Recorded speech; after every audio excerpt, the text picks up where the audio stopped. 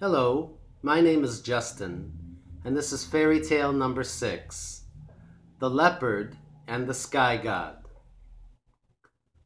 Osebo the leopard had the best dr- drum in all Africa. It was a mighty, musical drum that captured the beat of the forest, the pulse of the earth, and the heat of the jungle. He could play it loud, play it soft, play it high, play it low. Boom diddy boom. He played it even to the fireflies that danced at night. Now everyone wanted Osebo's drum. Python wanted it, elephant wanted it, tortoise wanted it, but Osebo wouldn't let them have it. What about me? asked Nyame, the sky god. Let me play it. No, said Osebo, it's mine. Nyame watched and waited, but Osebo never let the drum out of his sight. I'll give a prize to the first animal who gets that drum for me, said Nyame. I'll try, said Python. He slithered over to Osebo. May I see it? he asked. No, roared Osebo, unsheathing his claws. Python slithered away. I'm not scared of Osebo, said Elephant. He found Osebo playing his drum in a tree. Show it to me, trumpeted Elephant. Go away, roared Osebo. Elephant charged at the tree. He shook it till the leaves rained down, but Osebo stayed where he was. I couldn't do it, Elephant told Nyame. I'm sorry. Let me try, said Tortoise.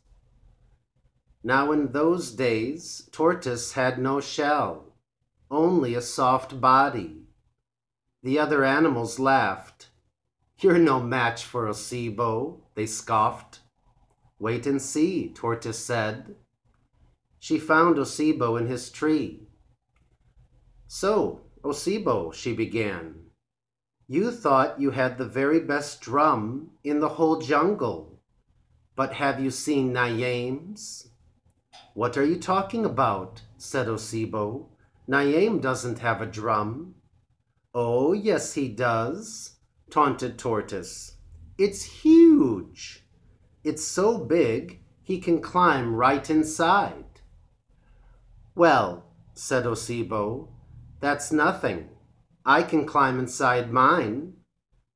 I don't believe you, said Tortoise. Osebo sprang from the tree. He crawled inside the drum. See, he said. Tortoise took the lid from Osebo's cooking pot and clapped it over the drum. Then she rolled it along to the sky god. I have it, I have it, cried Nyame. Osebo crawled out, dizzy and dazed. You can keep it, he gasped. And what would you like for your prize? Little tortoise asked Nyame. I would like a shell on my body, on my body, Tortoise replied, as hard as that drum, so that nothing can hurt me. And that is how the tortoise came to have her shell. As for the sky god, he loved his drum. When the weather is stormy, you can still hear him play, loud and soft, high and low. The end.